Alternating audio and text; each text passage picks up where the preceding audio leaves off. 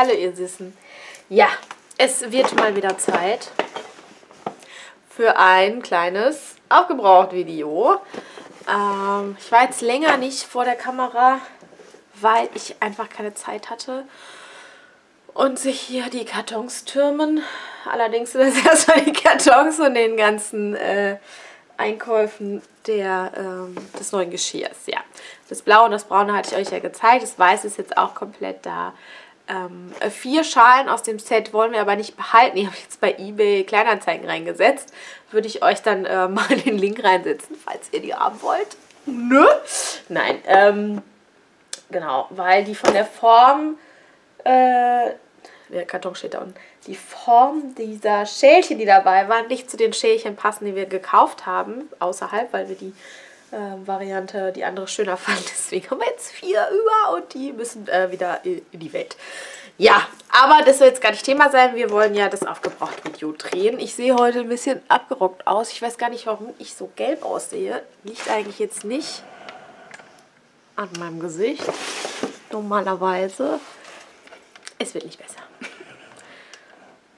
Naja, egal. Fangen wir einfach an oder machen einfach weiter. Kann nur schlimmer werden, offensichtlich. Ähm, gestern auch gebraucht die L'Oreal Elvital Tonerde Absolut Tonerde Maske für Haare. Ja, ähm, sah ein bisschen aus wie Zahnpasta. Hat ganz gut gerochen. Ich habe es zweimal benutzt, dann Ewigkeiten nicht mehr. Und jetzt eben gestern aufgebraucht. Braucht man nicht. Also, braucht man einfach nicht. Ich brauche es nicht. Ich weiß nicht, das war wahrscheinlich wieder so ein Gimmick. Und wir sind alle drauf reingefallen und haben es gekauft. Ähm, es ist keine langhaltige... Ernsthaft Fliege?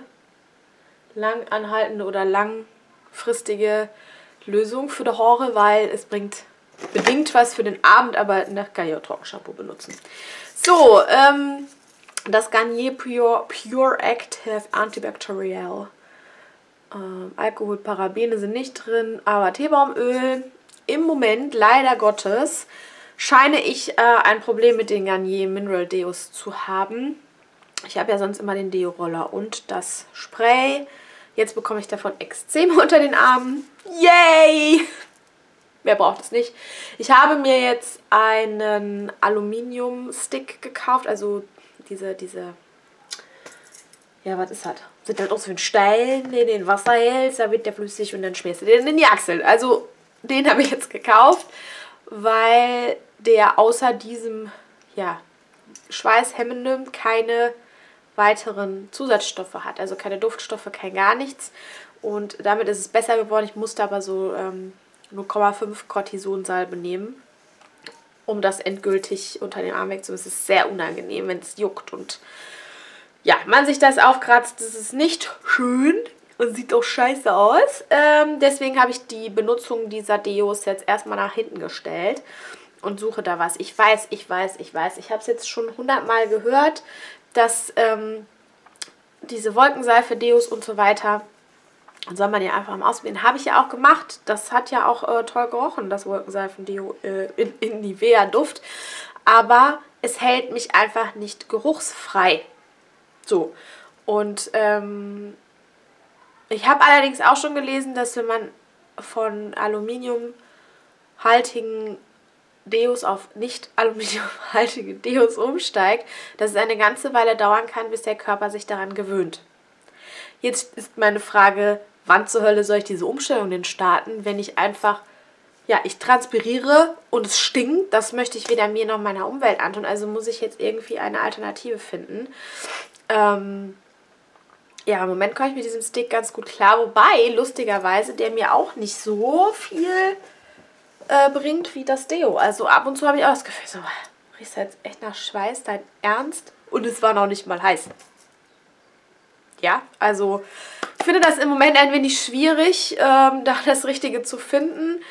Und ähm, habe jetzt äh, von Darf dieses Darf Deo, was wir alle kennen, mit dem Darf Geruch, aber ohne Alkohol und ohne Aluminium gekauft, einfach um so ein bisschen, ja, frische Duft in das anderen Body zu bringen für den Tag. Und ähm, ja, Ich habe noch nicht die perfekte Lösung gefunden. Ich muss mal schauen. Das, äh, ja, aber eure Tipps sind natürlich immer sehr willkommen. Nur manche kann ich einfach, äh, probiere ich zwar aus, aber da weiß ich bei den anderen Tipps, dass ich sie schon getestet habe und dass es bei mir nichts bringt. Also, ah, schwierig. Naja, weiter geht's. Dann habe ich äh, mal wieder aufgebaut, da muss ich neu kaufen, das Haarkraft von Tip the Zink, Biotin und Folsäure.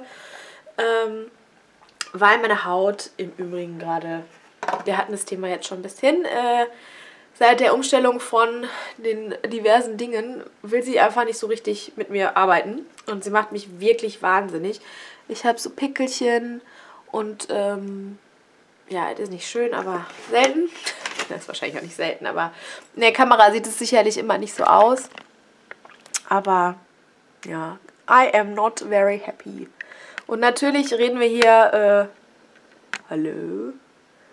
Ja, zoom da ruhig mal ran, du.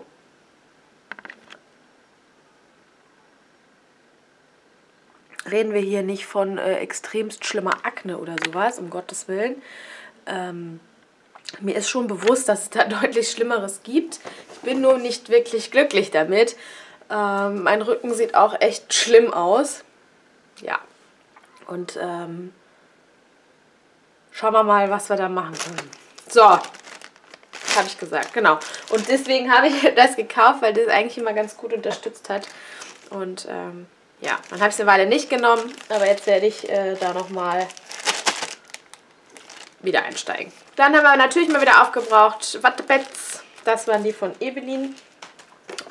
Dann habe ich aufgebraucht das überempfindlich reaktive Haut Micellenwasser Ultra von La Roche-Posay. Ähm, ich kann jetzt ehrlich gesagt keinen großen Unterschied zu meinem vorherigen normalen normalen äh, Micellenwasser äh, finden, wenn ich ehrlich bin. Von daher werde ich da einfach äh, demnächst wieder das kaufen, was die größte Verpackung hat. Und ähm, ja, also das normale tut es auch. Was die größte Verpackung hat und den besten Preis. Darauf wird es am Ende hinauslaufen. Dann habe ich äh, mal wieder aufgebraucht mein Naturkraft Shampoo von CD. Ach, guck mal, da war noch eine halbe, halbe Anwendung drin. Prima. Ähm, das ist vegan, genau. Und es riecht sehr, sehr lecker und ich komme damit richtig gut klar. Es riecht wirklich gut, nicht so typisch ähm, Bio-Shampoo-mäßig. Und hat keine Mineralöle, keine Silikone, keine Parabene, keine Farbstoffe, keine tierischen Inhaltsstoffe. Und es ist mildes Tensin drin. Was ich auch nicht weiß, ist, ob hier ähm, Mikroplastik drin ist. Das ist ja momentan, oder eigentlich ist ja Gott sei Dank jetzt ein großes Thema. Aber es fällt echt schwer, also wirklich alles zu beachten alles richtig zu machen. Dann müsste ich mich, glaube ich, kompostieren. Ich glaube, besser geht es nicht. Wobei, dann wird wahrscheinlich auch noch jemandem einfallen, dass ich vielleicht eine Plombe habe, die sich nicht äh, auflöst. Also, puh. Schwierig, schwierig. Ähm, ich versuche, ich versuche da, ähm, ja, drauf zu achten, aber manches gelingt mir einfach nicht besonders gut. Ist auch für mich nicht alltagskompatibel, ähm, aber kleine Schritte. Ja, Gut, dann habe ich aufgebraucht hier das äh, Rosens Rose Water. Ich erzählte, glaube ich, schon davon, als ich es kaufte. Es ist ein hundertprozentig naturreines, pures Rosenwasser. Ich finde leider, es riecht ein bisschen muffig und nach Pup. Ähm, und was mir nicht daran gefallen hat, ich habe es gut vertragen, das war also pff, keine Frage. Ähm, was mir daran nicht gefällt, in Anführungsstrichen gefällt, ist, ich kann nicht, ich kann keine reinigende Wirkung damit erzielen. Also wenn ich jetzt mein Gesicht geschminkt habe und ich habe mich abgeschminkt am Abend und ähm, ich gehe dann mit einem Wattepad von normalem Gesichtswasser drüber, dann wird das Wattepad nochmal schmutzig und holt so den letzten Rest raus. Das macht das nicht. Das finde ich echt unpraktisch. Ähm, weil ich dann irgendwie noch einen Schritt dazu machen muss, um meine Haut vernünftig sauber zu kriegen. Naja, also das werde ich vermutlich nicht nachkaufen. Und dann habe ich ein Pröbchen aufgebraucht von Biotherm Skin Fitness Purifying and Cleansing Body Foam. Ähm, ja. Was daran jetzt im großen Body purifying sein soll, weiß ich nicht. Kann ich euch nicht sagen, aber es hat sehr gut gerochen. Allerdings würde ich es nicht kaufen. Das wird wahrscheinlich schweineteuer sein. Dann mein geliebtes Batiste sofort frische Trockenshampoo original aufgebraucht. Die zweite Dose ist auch schon fast wieder leer. Ich muss zum Douglas, weil diese Variante finde ich weder bei DM noch bei Müller noch bei Rossmann. Und äh, was ich sehr, sehr schade finde, wobei in Großstädten ich auch das Original schon außerhalb von Douglas gefunden habe. Aber in meiner kleinen Stadt ist das nicht so. Dann habe ich aufgebraucht eine, juhu, was bei mir sehr selten vorkommt, eine Body Cream von Rituals, äh, Indian Rose Himalaya Honey. Ach, ich durfte, ich habe die ähm, Seife übrigens umgetauscht bekommen, war gar kein Problem. Ich liebe diesen Duft sehr. Ähm, und diese Body Creams von Rituals halten auch echt lange, lange den Duft am Körper. Das gefällt mir sehr, sehr gut. Entweder war es mal ein Geschenk oder eine Probe, aber hm, immer wieder gerne. Dann habe ich das Aufbau-Shampoo von äh, CD Naturkraft benutzt. Was auch sehr gut riecht. Sehr, also ich finde, es riecht super reichhaltig und so fühlt sich das auch an. Also ich kann mich jetzt nicht unter entscheiden davon. Da kaufe ich wirklich, ähm, worauf ich gerade Lust habe. Also, ja. Dann, es tut mir leid, meine Nase, ich habe keine Erkältung, hoffe ich. Es ist Allergie, hier fliegt alles rum. Vom Staub und sonstigem mal ganz abgesehen. Ähm, ich kriege einfach die Hälfte des Tages keine freie Nase. Das Ritual of Dao äh, mit Lotus, weißem Lotus und Yi Ren, was auch immer das ist, ist einer meiner absoluten Lieblingsdüfte. Es sollte euch mittlerweile hier aufgefallen sein.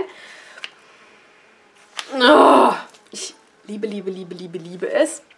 Äh, das war jetzt das Scha ähm, Duschöl. Ich finde ja, dass die besser sind als die Duschschäume, Schaume, Schaums, Foaming-Dinger. Ähm, aber die kippen schneller im Duft. Also, wenn man eins hat, sollte man das auch relativ schnell aufbrauchen, weil dieses Öl wenn das in der warmen Dusche steht, tatsächlich schneller kippt vom Duft her. Das ist ein bisschen schade. Dann hier, äh, ich hatte das Thema ja schon mal mit euch. Mascara. Warum zur verschissenen Hölle kaufe ich immer wieder neue? Warum? Wieso mache ich das? Hallo, Tok Tok, aufwachen. Ähm, ich habe meine zwei Lieblingskombinationen gefunden. Das ist die ähm, L'Oreal Schmetterling Fatal Dings Rot, Silber, Weiß, wie auch was sie heißt, und die Voluminous von L'Oreal. Ähm, und die Kombination ist der Burner. Warum kaufe ich immer wieder neue, die mich dann jedes Mal den letzten Nerv kostet? Die bringen mir einfach nichts. Die sind für mich sind die schlecht. Es gibt Leute, die kommen mit denen wahnsinnig gut zurecht. Soll es ja auch in Wasserfest geben. Ich werde es hoffentlich nicht wieder kaufen. Hoffentlich, siehst du? Hoffentlich. In Wasserfest gibt es die jetzt auch. Ich will es eigentlich nicht kaufen. Dann zweimal Totes Meer Maske von Schäbens, äh, meine allerliebste. Ähm, dann mal wieder ein Pröbchen von der Estee Lauder Double Wear Light. Ähm, ich liebe ja ich habe mir jetzt zweimal ähm, die normale Double Wear gekauft in zwei verschiedenen Farben. Die waren super günstig und ne, damit ich eine dann auch im Sommer benutzen kann, ich werde mal äh, braun und nicht gelb. Ähm, und ich finde es so, so schade, dass es die in Deutschland nicht mehr gibt. Die ist richtig, richtig toll. Ja, egal. Dann habe ich ein Rückenfit von Dresdner Essenz aufgebraucht. Ich glaube, das war ein PR-Sample. Oh, ja, das gehört zu den neuen Düften. Boah, riecht das lecker. Arnika und Myrte. Hammer. Ich liebe ja, ich liebe ja diese ähm, Kräuterdüfte von äh, Dresdner Essenz. Auch von den anderen Marken, aber ja, das war in meinem PR-Sample-Paket da drin. Und ich, oh, Leute, hammergeil. Sowas muss in den Garten gepflanzt werden. So, dann, warum bist du denn hier drin? Bin ich bescheuert? Habe ich, ich glaube, ich weigere mich, das aufzubrauchen. Wieso bist du hier drin? ist noch gar nicht leer, aber das XX Volume ist ein bisschen wie Kleber. Also das werde ich definitiv auch nicht nachkaufen. Das ist okay, aber hm. das belebende Reinigungsgel von Lavera ähm, für Mischhaut und unreine Haut. So ein, ja, das roch ein bisschen typisch Naturkosmetik-mäßig. War okay, würde ich grundsätzlich auch nachkaufen. Hat mir bisher aber noch nicht das gebracht, was ich gerne hätte. Und da ich jetzt gerade mal wieder ein bisschen vor mich hin teste, ähm, kaufe ich das erstmal nicht nach, aber war gut. Die ähm, 3 in 1 Maskengeschichte zum Beispiel, die finde ich super. Dann habe ich ein Doppelpröbchen aufgebraucht und ich glaube, davon habe ich auch ein Parfum gekauft. Das gab es damals 15 Euro bei ähm, Douglas. Das Viva la Juicy, Juicy Couture. Ich meine, das habe ich gekauft. Und äh, das La Fleur habe ich jetzt dem letztens leer gemacht. Und jetzt habe ich die andere Probe auch leer gemacht. Also das ist so richtig schönes, furchtbares Kaugummi-Parfum. Und irgendwie doch wieder cool. Also ich habe eins davon. Ein großes gekauft, was schon selten. Dann die Dusch- und Waschlotion Heilerde Blablups war eine Probe in meinem Adventskalender. Ja, ne, oder? Ich glaube ja. Ähm, ja, war okay. Ähm, ist echt bräunlich. Sieht auch, riecht auch nicht gut. Muss man einfach mal so sagen. Das riecht ein bisschen wie abgestanden. Aber, äh, ja hat so den einen oder anderen Tag mit dem Extrem unter dem Arm echt ganz gut, äh, gut geholfen. Ähm, ja, aber würde ich mir jetzt ehrlich gesagt nicht in groß kaufen. Da bin ich doch zu der, zu der Duftjunkie. Dann haben wir hier eine Kräuter der Provence reine Pflanzenölseife-Verpackung ähm, von Müller. Das kann ich leider nicht besonders gut riechen, meine Nase ist zu. Ähm, ist glaube ich noch drin. Ja, die, die, riecht, die riecht ganz gut. Die da ist noch der Rest, der jetzt äh, aufgeseift werden muss. Dann der Nagellackentferner von Rossmann mit dem Pumpspender. Ist regelmäßig im Angebot für 99 Cent. Kaufe ich immer wieder. Ist der beste. Ist wirklich der beste Nagellackentferner. Dann Zahnpasta. Elmex und Aronal. Ach hier, genau. Hier ist das zweite Fläschchen. Von dem Juicy La Couture La Viva La Fleur. Was auch immer. Viva La Fleur. Ähm, dann eine Real Techniques, Techniques, Real Techniques äh, Verpackung von diesem orangen ähm, Schwämmchen, das ich umtauschen durfte, weil es nach dem, also ich, eins war aufgebraucht und musste weg, dann habe ich ein neues gekauft, das hatte einen Riss und dann habe ich es umgetauscht und einen neuen bekommen. Der ist aber noch in Benutzung und hier ist er auch. ähm, das ist jetzt aber der der alte. Ja, der erste, den ich hatte, der sich da so ein bisschen auflöste und auch, ich glaube, an den Seiten war er auch schon ein bisschen hinüber. Ja, hätte man wahrscheinlich noch weiter nutzen können. Aber manchmal muss man Dinge auch einfach mal austauschen, nicht? Dann habe ich benutzt das äh, Barnigen Dingsbums Pröbchen hier, eine Creme. Der Duft ist ganz nett und es hat sich auch gut angefühlt kann ich mir schon vorstellen, dass das nett ist auf der Arm, äh, auf der, auf der Arm, auf der Haut. oh, aber ja, würde ich jetzt nicht zwingend unbedingt kaufen. Also da gibt es bestimmt auch noch andere. Und von den ganzen Cremes, die ich noch aufbrauchen muss, mal ganz zu schweigen. Dann sind hier nochmal zwei äh, Deo-Varianten. Hier, ne, das Garnier Minerals Clean Sensation und hier das, den Deo-Roller dazu. Wie gesagt, ich habe noch zwei, jeweils eins davon im Schrank stehen, was ich aber im Moment nicht benutze. Erklärt habe ich euch ja auch, warum. Sag mal. Ach, ich gebe es echt auf. Okay. Ähm, ich habe hier einen Nagellack drin. Ja. Topless and Barefoot von Essie. Einer meiner aller, aller, aller, allerersten. Auch mit einem ähm, da gab es mal einen Ausverkauf bei irgendeiner, bei irgendeiner Firma. Und ähm, da haben wir dann ein paar bestellt und der war unter anderem dabei. Es ist ein toller Newton. Wahrscheinlich werde ich ihn irgendwann nochmal nachkaufen. Aber es macht keinen Spaß mehr, den zu lackieren. Es ist so ein, der zieht so Fäden. Aber ich habe total süß, bin ein bisschen froh, dass ich mich entschieden habe, den wegzutun. Ähm, den leer zu machen, ich weiß noch nicht genau wie, und das dann als kleine Vasen zu benutzen. Ich habe das auf Instagram gesehen. Wie süß ist das denn? Und dann habe ich dann irgendwann kleine Essis und kleine Opi-Eis und dann mache ich da Vasen draus. Der Burner. Wahrscheinlich bin ich die Einzige, die das toll findet, aber ich fand es total süß. Die beiden ähm, haben es jetzt auch mal wieder geschafft, ähm, nur bis zur Hälfte aufgebraucht zu werden. Das riecht mich auch ein bisschen auf. Ähm, davon habe ich schon noch einen zweiten. Das ist ein toller ähm, Überlack, schnelltrockner Überlack.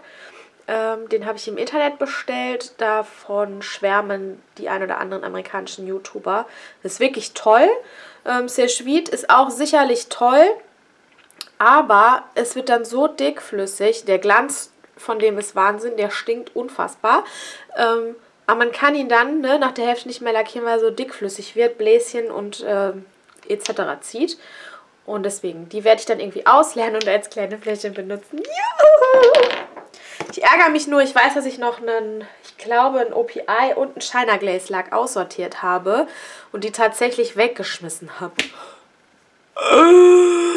Weil ich nicht auf die doofe, weil ich nicht auf die gute Idee gekommen bin, die für irgendwas anderes zu benutzen. Man kann nicht alles horten. Und dann kommen wir wieder zum Thema, was mich komplett wahnsinnig macht. Der anstehende Umzug und das damit verbundene Aussortieren. Ich brauche, glaube ich, eine Therapiegruppe. Ja, aber es ist total süß, wie viele tolle, tolle, tolle Tipps ihr mir gegeben habt unter meinem Schrank. Ähm, Bild auf Instagram. Und ähm, ich habe auch aussortiert. Ich habe die Sachen in die Kleiderspende gegeben und ich werde auch, wenn wir dann soweit sind und immer mehr zusammenpacken können, ich wollte mit den DVDs anfangen, ähm, definitiv auch Sachen verschenken und so. Aber ja, die Aufgabe hinter mich zu bringen, das ist, glaube ich, das größte Problem im Moment. Ja, nochmal ein Pröbchen von der Estee Lauder Double Wear Light.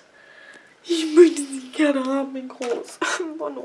Muss ich in Holland nochmal gucken, ob ich da irgendwie mit zurechtkomme. Dann habe ich etwas aufgebraucht, Leute. Sun Club Essence. Wie alt ist diese LE bitte? Ich habe auch noch den Bronzer. Ich möchte nur drüber sprechen. Wie alt ist diese ja, LE. Ich habe jetzt das letzte von den Dingern äh, aufgebraucht und war gestern bei Müller. Und es gibt eine neue, es gab ja jedes Jahr eine Sommer-LE, aber jetzt nach wie vielen Jahren, ich weiß es nicht, habe ich eine neue kaufen können. Und dachte ich jetzt, eigentlich aus Witz und Dollerei muss jetzt auch die neue ähm, Sommer-LE Oil Control Paper Dinger mitnehmen. Das habe ich jetzt auch gemacht, weil von der Verpackung und so super praktisch 50 Stück drin. Können nicht mit den Shiseido Dingern mithalten. Ähm, kosten aber nur einen Bruchteil davon. Und für unterwegs ab und zu mal so ein Blatt Papier. Nostalgie und so. Ähm, dann natürlich einer meiner liebsten Sachen. All-Time Favorites. Ein BB Young Care äh, Classic Lippenpflegestift ist aufgebraucht. Die, äh, die Waschmaschine redet auch schon wieder mit mir. Dann etwas, was ich jetzt dann auch endlich entsorge. Hier ist noch was drin, aber jetzt wird es wirklich mehr als pastös. Die Reste kriege ich nicht mehr raus. Die Urban Decay Eyeshadow Primer Potion in der Farbe Eden. Ich muss es mir unbedingt merken, dass es Eden ist, damit ich die dann irgendwann mal nachkaufe. Ich mache mal schnell ein Foto. Genau, ähm, die ist wirklich wahnsinnig toll. Von der Farbe auf jeden Fall auch. Die färbt nämlich den Untergrund, den Liduntergrund ein mit so einer, ja, Concealer-Farbe im Grunde. Und ähm, die muss ich unbedingt, unbedingt, unbedingt nachkaufen, wann auch immer das jemals passieren wird. Dann ähm, The Ritual of Ayurveda. Das ist die neue Variante, also die neue Verpackungsvariante. War auch ein Prüppchen oder Geschenk. Riecht einfach toll. Also diese Duftvariante und die grüne, die Hammam und die pinke, die finde ich einfach wahnsinnig toll. Dann habe ich aufgebraucht den Enjardin sur le Nil. De Toilette Hermès Parfum. Ja, hat sehr, sehr gut gerochen, aber kaum gehalten auf der Haut. Also, ne? Dann schon mal etwas, was ich nicht dringend kaufen muss. Ein Löscher ist leer gegangen. Mein Lieblings, Lieblings, Lieblings, Lieblings, Lieblings, Lieblings, Lieblings, Lieblingsconcealer in der Farbe 03 Fair. Dann werde ich jetzt entsorgen einen Brow Wachs Stift.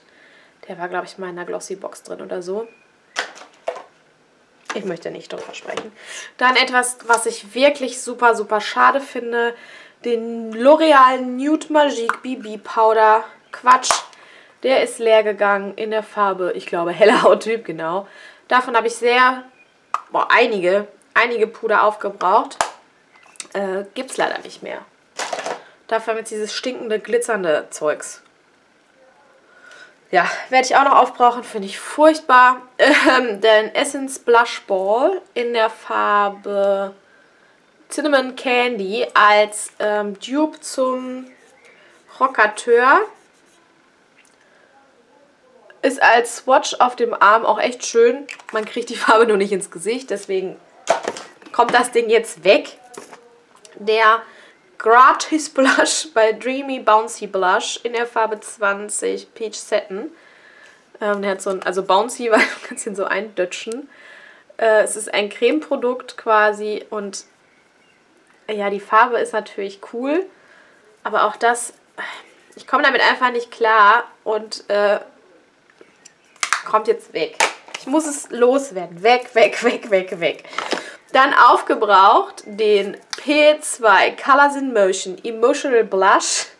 Wie alt ist diese LE bitte?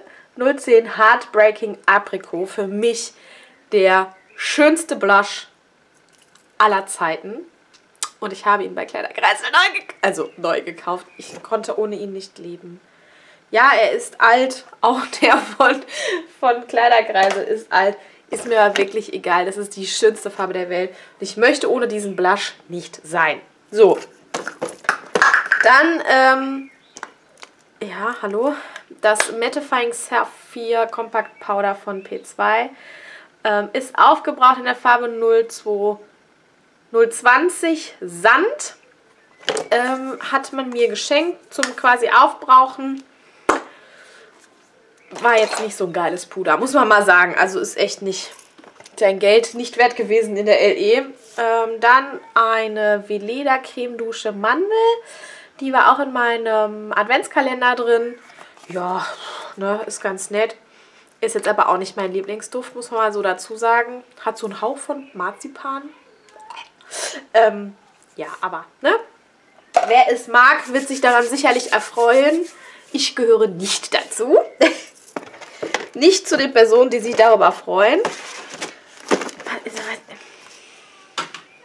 Was man hier so findet und was man nicht dabei, was man dabei nicht versteht.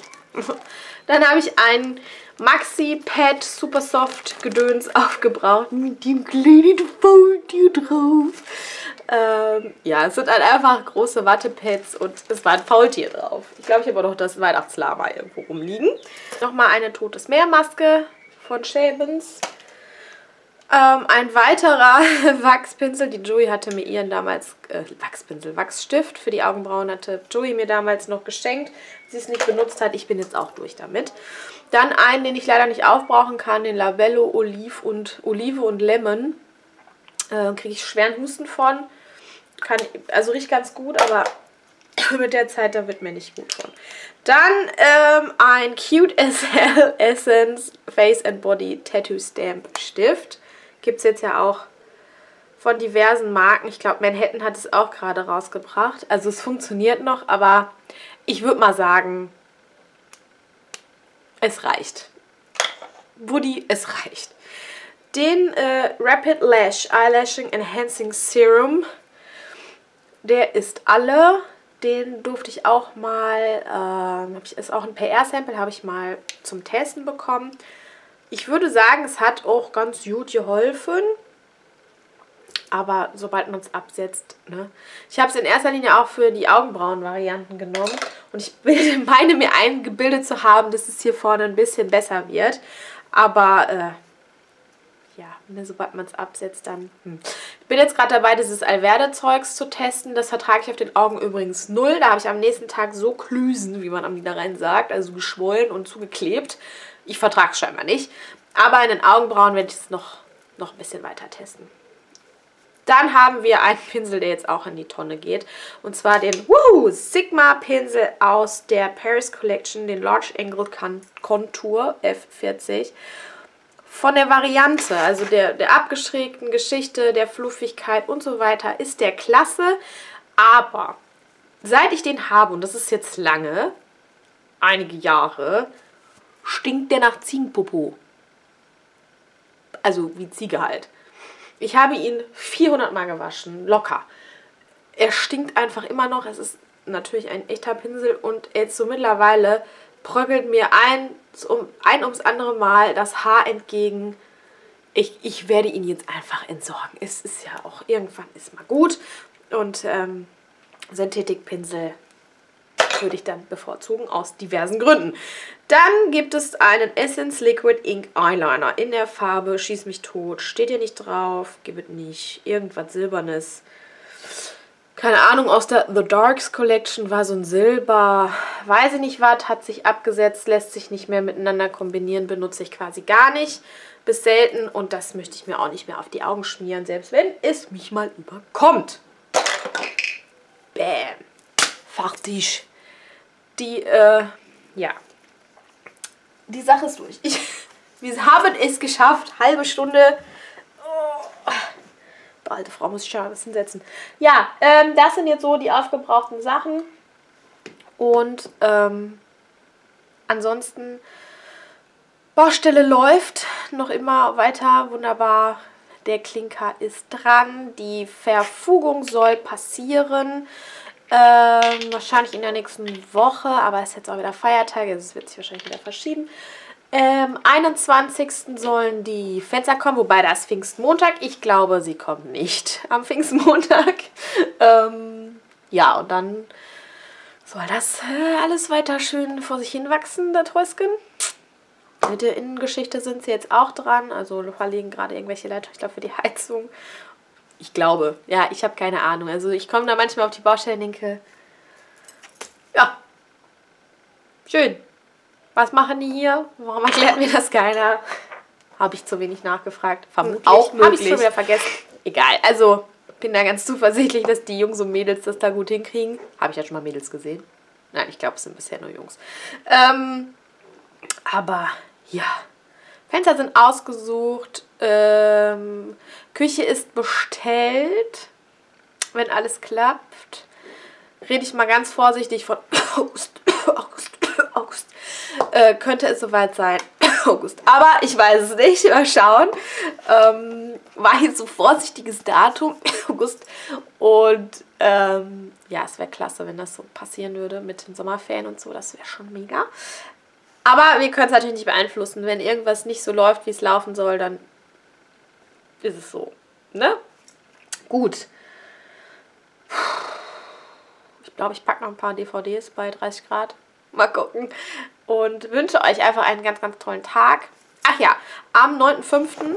um 21 Uhr ist der Woody im Fernsehen, im Haushaltscheck. Aber da gibt es nochmal eine extra Info für euch. Und ähm, ansonsten wünsche ich euch einen schönen Tag, schönes Wochenende. Und ich hoffe, wir sehen uns bald wieder. Ciao!